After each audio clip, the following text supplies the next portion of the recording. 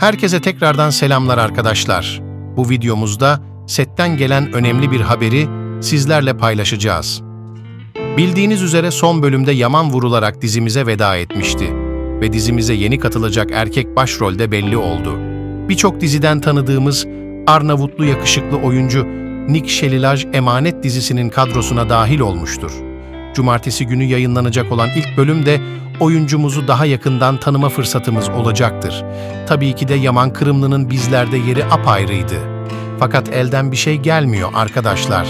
Bu yüzden yeni oyuncumuzun da performansını oldukça merak ediyoruz diyebiliriz.